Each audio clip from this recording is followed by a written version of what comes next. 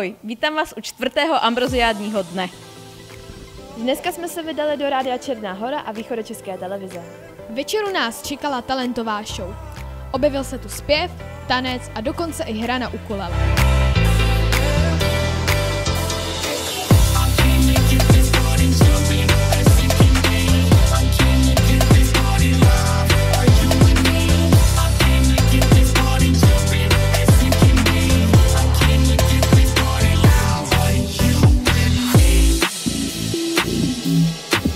your hands up.